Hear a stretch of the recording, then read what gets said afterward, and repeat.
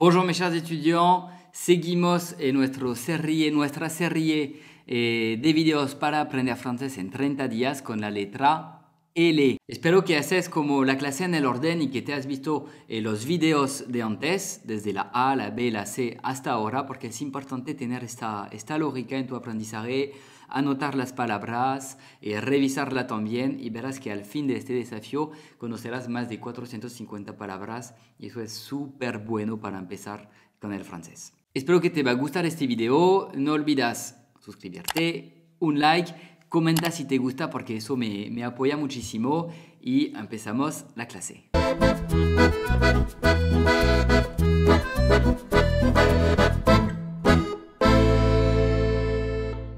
Entonces la letra L en francés, L, que es la L de ustedes, la L, L, así con la lengua que toca el palato, el, eh, la, boca de, la boca arriba, así, L, así. Empezamos con la palabra lire, lire. No suena la E al fin, lire. Así la traducción es leer. Y un, ejemplo, me gusta leer eh, romanes, roman, romanes. J'aime lire des romans. J'aime lire des romans. Roman es como un tipo de libro en francés. Libros romanes, yo creo. J'aime lire des romans. Ahí, bueno, j'aime lire, que es el, el verbo eh, leer al infinitivo. Me gusta leer eh, este tipo de libro. J'aime lire des romans. Um, entonces seguimos con el artículo le. Le para ustedes sería él. Ahí se confunden. Se confunden porque él para nosotros es ella. Entonces, bueno, tienes que revisar bien los artículos. Ahí te explico lo que es le y cómo se utiliza. Entonces, le que es él para ustedes. El gato está en la casa. Le chat est dans la maison. Le, le chat, el gato, le chat le chat est dans la maison. La maison, la casa. La, la, que es también el la de ustedes, se utiliza así. La gata está en el garaje. Yo guardo la misma lógica entre las dos para que puedas diferenciar entre le y la. La chatte est dans le garage. Le chat, la chatte.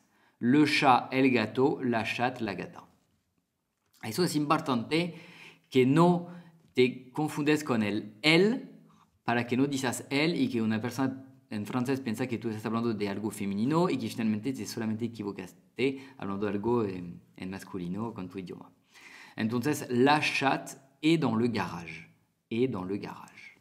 Les, que es finalmente eh, el artículo eh, definido pero al plural, nosotros, yo, yo, hubiera podido decir los o las, porque es que nosotros tenemos este artículo, eh, aquí está el plural entonces, pero es el mismo que sea masculino o femenino. Ustedes no, ustedes dicen los al plural masculino, las al plural femenino.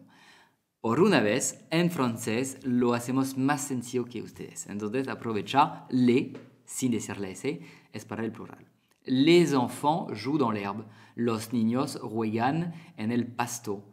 Les enfants, les enfants, ahí haciendo la liaison, les enfants jouent, jouent. Alors, entiendo que puede ser raro porque vemos muchas letras y solamente se dice u, joue. Sí, porque ENT muestran que es el plural porque hablamos de les enfants. Pero solamente lo muestran escrito. Cuando tú lo estás hablando, no suena les enfants jouent, así. No dudas, no tengas miedo a hacer eso con tu boca, joue, así. Te puede parecer un poquito bobo, pero deja eso a un lado y realmente intenta de, así, así, de practicar, de hacer movimientos con tu boca. Al fin de esta clase, o si veas dos, tres videos así enseguida, quizás tendrás dolor ahí en los músculos de la boca y eso es muy buen señal.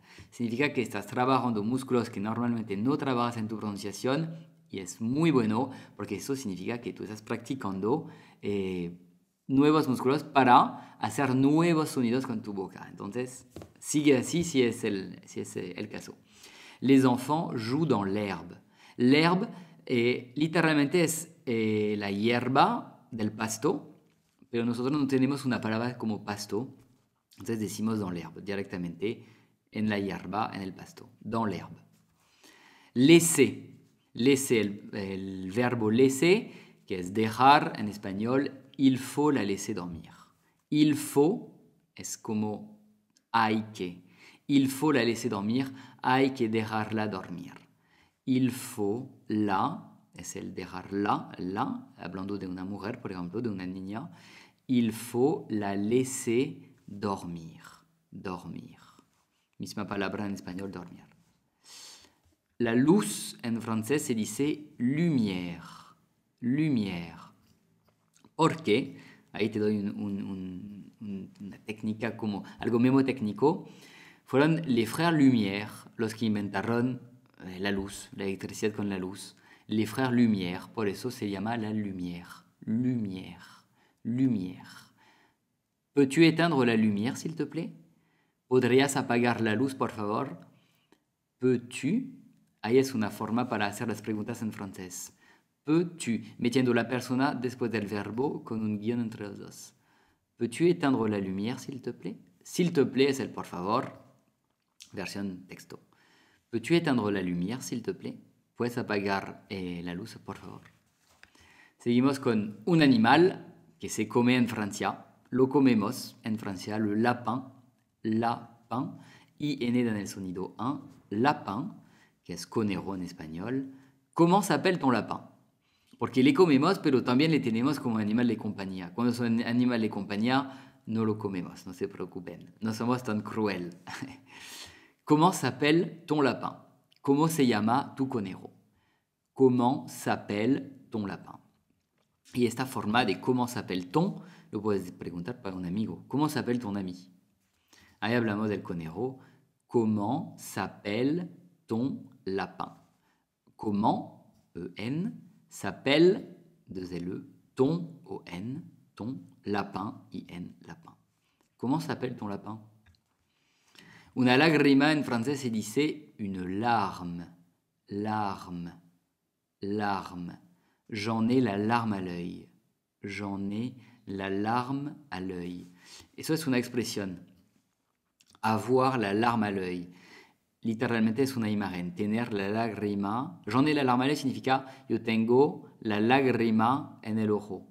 Significa que tú estás a punto de llorar, algo que te pone súper triste o también súper feliz, porque podemos llorar de felicidad. Entonces, aquí no sabemos, j'en ai la larme à l'œil, tengo la lágrima en el ojo, es una imagen, pero es como una expresión en francés que significa estoy a punto de llorar de placer o de tristeza. J'en ai la larme à l'œil. Y o, esta forma, c'est le E dans l'eau, la E en el O, E dans l'eau. Un livre, un livre, se dice un libro. Tu aimes quel style de livre? Tu aimes quel style de livre? ¿Te gusta cuál estilo de libro? Tu aimes quel style de livre? Tu aimes con una S porque estamos con la segunda persona del singular. Tu aimes, estamos en el presente. Quel style? Solamente con una L porque estamos hablando del estilo que es masculino. Quel style de livre? Tu aimes quel style de livre? La luna en francés se dice la lune. La lune. Ah si, alarga un poquito la U. La lune. La lune est pleine ce soir. La luna está llena esta noche. La lune est pleine ce soir. Pleine es porque es femenino. La lune est pleine ce soir. Si hablábamos de algo al masculino, diríamos est plein. Plein, pleine. Plein, pleine. ¿Viste la diferencia de, de sonido solamente con una letra de diferencia? La lune est pleine ce soir. Longtemps es mucho. Mucho tiempo, mucho tiempo. Porque longtemps significa literalmente long, largo, temps, tiempo. Largo tiempo, mucho tiempo. Longtemps. Ça fait longtemps qu'on ne s'est pas vu. Hace mucho tiempo que no nos hemos visto. Ça fait es como hace, como il y a, pero no podemos usar il y a aquí, tenemos que usar ça fait. Ça fait longtemps, no se dice la re, no se dice las dos letras al fin de la palabra. Ça fait longtemps qu'on ne s'est pas vu. Vu del verbo voir. Voir. Eso es un verbo irregular. Por eso aparece así. Vu. Lunes, en francés, es lundi. Lundi. Lundi, c'est la rentrée. Lunes, eh, bueno, eso es una expresión en francés. C'est la rentrée significa es el día que volvemos a entrar en la escuela o al trabajo. O sea, significa literalmente, significa que es el fin de las vacaciones y que reentramos en nuestras costumbres de ir a la escuela, de ir al liceo, de ir a trabajar. Lundi, c'est la rentrée. Esta palabra, c'est la, la rentrée, a mí fue la pesadilla de toda mi infancia y yo creo de muchos niños. C'est la rentrée significa ya fin de vacaciones volvemos a la escuela. Lundi, c'est la rentrée. La langue en francés, la langue, la lengua, je donne ma langue au chat. Hay otra expresión. Este, este video está llena de expresión. Pero es bueno porque en francés tenemos muchísimas expresiones. En mi blog tengo artículos sobre expresiones francesas si te interesa, son bien chévere, bien, bien cool. Je donne ma langue au chat, yo doy mi lengua al gato. ¿Qué significa eso? Es una expresión que significa que, por ejemplo, te estoy haciendo una pregunta y tú no conoces la respuesta, entonces tú me dices, yo no sé, je donne ma langue au chat, o sea, ya yo, yo, yo me dejo, eh, dame la respuesta, yo no sé, dame la respuesta. Je donne ma langue au chat, j'abandonne, abandono. Para que la repites con tus amigos franceses. Lettre, lettre, con doble T, letra, espagnol, on étudie des mots avec la lettre L. Estamos estudiando letras, palabras, disculpa, eh, estudiamos palabras con la letra L. Yo hablo de lo que estamos haciendo ahora mismo en el ejemplo. On étudie, haciendo la liaison, on étudie des mots, palabras, des mots, avec la lettre L, L. Y para terminar con una una linda palabra, la libertad en francés, la liberté, liberté, liberté, como la statue de la liberté en Nueva York, la estatua de la libertad que fue ofrecida por los franceses al fin de la guerra a, los, Estados Unidos. Liberté. J'aime me sentir en liberté. Me gusta sentirme en libertad. J'aime me sentir, sentirme, el me de nosotros, de estos verbos pronominales está el comienzo del verbo. Me sentir en liberté. J'aime me sentir en liberté. Bueno, espero que te gustó el video y nos vemos para la M, la M.